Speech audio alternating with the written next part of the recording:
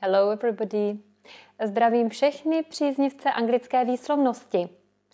A dnes se podíváme na velmi jednoduché slovo a tím je odpověď nebo odpovídat. Určitě ho všichni znáte, zkuste si ale sami nejprve vyzkoušet, jak byste ho vyslovili. Pokud jste vyslovili answer, pak to není správná výslovnost, protože nesmíme nikdy vyslovovat w, které vidíme v psané podobě. Budeme říkat tedy pouze answer. Pro britskou angličtinu ještě jednou answer. V americké angličtině bychom řekli answer. A ještě jednou answer.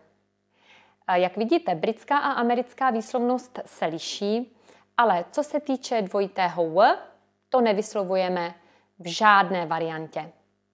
V britské variantě tedy řekneme answer a v americké answer. Zkusme si to nyní říct v celé větě. I expect a straight answer to a straight question. A neb na přímou otázku čekám přímou odpověď. A ještě jednou. I expect a straight answer to a straight question. Výborně. Nezapomínejte tedy, že odpověď nebo sloveso odpovídat vyslovujeme bez w. Řekneme pouze v britské angličtině answer a v americké angličtině answer. Dnes bych se s vámi ráda podívala na běžné slovo, které bude znít podobně v mnoha jazycích, ale pojďme se podívat na to, jak správně ho vyslovovat v angličtině. Je to slovo problém. Zkuste si, jak ho řeknete v angličtině. Pokud jste řekli problem, pak je to správně. Je tam tedy hláska o, samohláska o. Někdy totiž slýchávám, že Češi na místo o řeknou o, řeknou tedy problem. Vidí písmeno o, které se někdy vyslovuje jako o.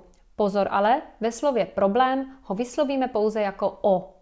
Problem. A ještě jednou. Problem. Problem. Zkusme si ho použít ve větě. I'm having problems with my computer. A ještě jednou. I'm having problems with my computer.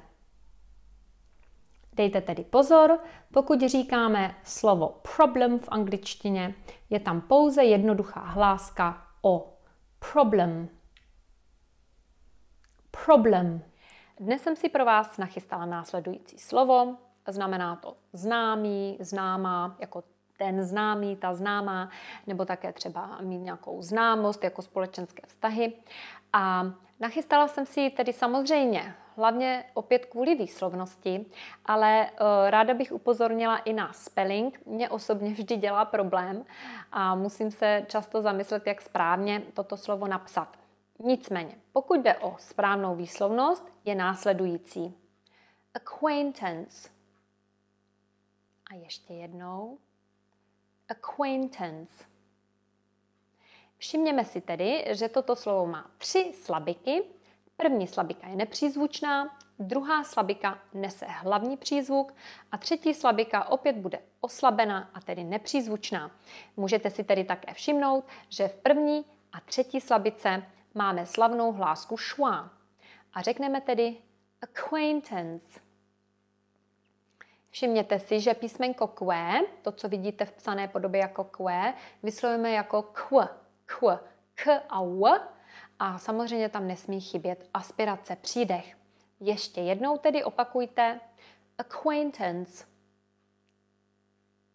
A ještě jednou acquaintance.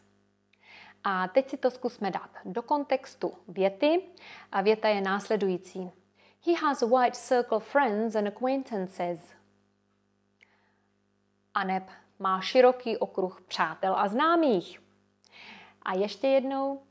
He has a wide circle of friends and acquaintances. Mhm. A ještě jednou celou větu.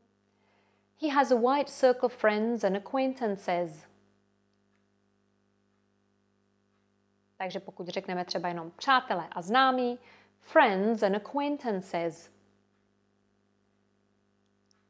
A naposledy friends and acquaintances. Dnešním slovem tedy bylo známý, známá, acquaintance.